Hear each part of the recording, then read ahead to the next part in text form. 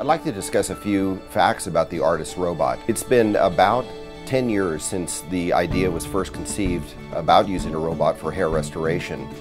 And my involvement started about eight years ago when I was approached by Restoration Robotics to assist them in developing a robotic technology to remove grafts from patients' heads. I had some experience in follicular unit extraction and had developed my own system called the SAFE system. It stands for Surgically Advanced Follicular Extraction.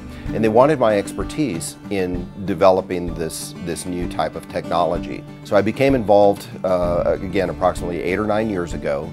And the process involved clinical trials, developing the hardware, the software, and basically directing the direction that the robot would take in terms of how it interacted with a patient and their tissue. So the development process involved hundreds of patients that we, we tested the system on and gradual improvements and advancements over the course of seven or eight years resulted in the FDA clearance of this device. Now the device uses advanced vision systems, it uses algorithms to assess hair density, hair directions, and angles, and using this information allows us to target the best hairs on a patient's head, distributes them in a, in a reasonable distribution pattern so that there's uh, absolutely normal resolution of your donor area, and provides grafts that grow very consistently and gives us great cosmetic and clinical results after 10 months. My default for performing FUE, if a patient asks me, would be to have the ARTAS surgery.